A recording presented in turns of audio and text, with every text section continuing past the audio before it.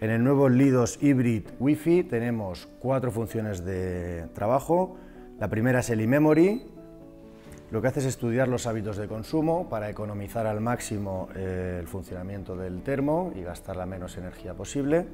Pulsando el mode pasamos del modo eMemory al modo green.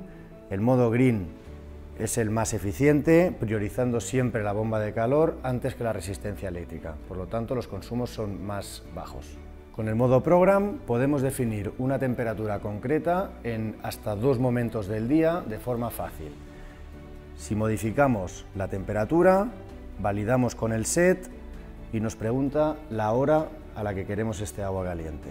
Modificamos, le ponemos a las 9 y le damos al set. Si lo dejamos en Program 1, sabemos que a las 9 de la mañana tendremos los 50 grados que hemos programado. Si programamos también el Program 2, podemos tener otra temperatura diferente en otro horario del día diferente. ¿De acuerdo? Podemos programar 45 grados, por ejemplo, pulsamos el set y le decimos que a las 9 de la noche. Set. Tenemos programado el 1 y programado el 2. Como la flecha solo está en el 2, nos haría solo la programación 2. Si pulsamos otra vez al mode, activa las 2. Quiere decir que a las 9 de la mañana tendremos el agua a 50 grados y a las 9 de la noche tendremos el agua a 45. Por último, la forma más rápida de calentar el agua es el modo Boost, que se activa pulsando el botón Mode y el Wi-Fi a la vez, soltando nos pide la temperatura y le damos al set.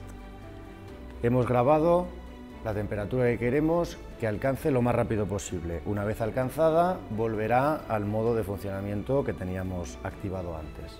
El modo Boost activa la bomba de calor y la resistencia eléctrica, que son los dos elementos de calentamiento que tenemos en el termo. Para conectar el nuevo Lidos Hybrid Wi-Fi a la app Aqua Net es tan fácil como bajar la app crear una cuenta, conectar el wifi mediante este botón y registrarse en la aplicación. Para más información, ariston.com. Tecnología, seguridad y confort en tu hogar.